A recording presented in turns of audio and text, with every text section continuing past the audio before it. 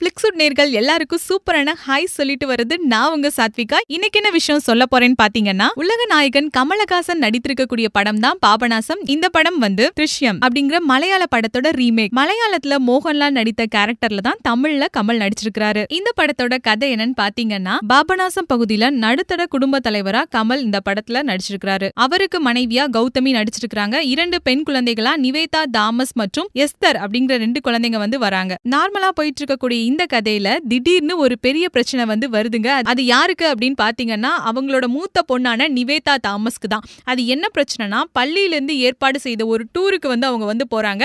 அப்போ அவங்களுக்கே தெரியாம ஒரு இளைஞன் வந்து அவங்கள ஆபாசமா படம் எடுத்துடுறான். அதுக்கப்புறம் வந்து நிவேதா தாமஸை தேடி அவங்களோட ஊருக்கே வந்து வர்றான். அப்போ வந்து நிவேதா தாமஸ தன்னோட ஆசைக்கு இணங்குமாறு அவன் வந்து வற்புறுத்துறான். நைட்டு பதினோரு மணிக்கு தோட்டத்துக்கு பின்னாடி வரதா சொல்லிட்டு அவன் அங்கிருந்து கிளம்பிடுறான். இந்த விஷயத்த நிவேதா தாமஸ் தன்னோட அம்மா அம்மாவான கௌதமி கிட்ட வந்து சொல்லிடுறாங்க. அதே மாதிரி அவனும் கரெக்டா பதினோரு மணிக்கு தோட்டத்துக்கு பின்னாடி வந்துடுறான். இதை தெரிஞ்சுக்கிட்ட கௌதமி கரெக்டா பதினோரு மணிக்கு அந்த ரூம்ல வந்து வெயிட் பண்றாங்க. அவனும் அந்த நேரத்துக்கு வந்து வந்துடுறான். அதுக்கடுத்து கௌதமி வந்து அந்த இளைஞன் கிட்ட ரொம்ப கெஞ்சுறாங்க. தன்னோட மகளை வந்து விட்டுரு அப்படின்னு சொல்லிட்டு. ஆனா அதுக்கு அவன் என்ன தெரியுமா சொன்னா நீ எனது ஆசைக்கு இணங்கு அப்படின்னு சொல்லிட்டு கௌதமிய பார்த்து சொல்றான். இத பின்னாடி இருந்து கேட்டுட்டு இருந்த நிவேதா தாமஸ் என்ன செய்யறாங்க அப்படின்னா இதுக்கெல்லாம் காரணமா இருக்கக்கூடிய அவன் கையில இருந்த மொபைலை அடிக்கலாம்னு சொல்லிட்டு அவங்க இரும்பு கம்மியால அதை அடிக்கிறதுக்காக போறாங்க. அது தவறி அவனோட தலையில வந்து விழுந்துருது. இதனால அவன் அந்த இடத்துல இறந்து போயிடுறான். அந்த இறந்தவனோட உடலை என்ன பண்றாங்கன்னா அவங்க வீட்டுக்கு பின்னாடி இருக்கக்கூடிய தோட்டத்துல வந்து புதைச்சிட்டாங்க. இத மறுநாள் காலையில வந்த கமல் கிட்ட வந்து சொல்றாங்க. இத கேட்ட கமல் இந்த கொலைய எப்படி மறைக்கலாம் அப்படின்னு சொல்லிட்டு வந்து களமிறங்குறாரு கமல். கடைசியில அவர் வந்து அந்த கொலையில இருந்து தப்பிச்சாரா இல்லையா அப்படிங்கறத விறுவிறுப்பா சொல்லியிருக்கிற படம் தான் பாபநாசம். இதுதான் பாபநாசம் படத்தோட கதை. இந்த படத்தை இயக்கியிருக்கிறாரு ஜித்து ஜோசப். இந்த படத்துக்கு இசையமைத்திருக்கிறது ஜிப்ரன். ஒளிப்பதிவு சுஜித் வாசுதேவ் வந்து பண்ணிருக்கிறாரு இந்த படத்துல எல்லா எல்லாரும் நல்லா நடிச்சிருக்காங்க நடிப்புக்கு பஞ்சமே இல்லைன்னு சொல்லி சொல்லலாம். எல்லாரும் அவங்களுக்கு கொடுத்த கேரக்டரை சூப்பரா பண்ணிருக்காங்க. கேமராமேன் சுஜித் வாசுதேவும் தன்னோட ரோலை சூப்பரா காட்டியிருக்கிறார் இந்த படத்துல. இசைய பொறுத்த அளவுக்கு உத்தம வில்லன் படத்துல கொடுத்த அளவுக்கு இந்த படத்துல ஜிப்ரனோட இசை இல்லைன்னே சொல்லலாம். மொத்த படத்துல அங்கங்க சின்ன சின்ன குறைகள் தெரிஞ்சாலும் மொத்தத்துல பாபநாசம் படம் வந்து பாசத்தோட களம்னே சொல்லலாம். இந்த படத்துக்கு பிளிக்ஸுடோட மார்க் ஐந்துக்கு நான்கு. மேலும் சினிமா தகவல்களை உடனே தெரிஞ்சுக்க eight double two zero double four double nine double seven அப்படிங்கிற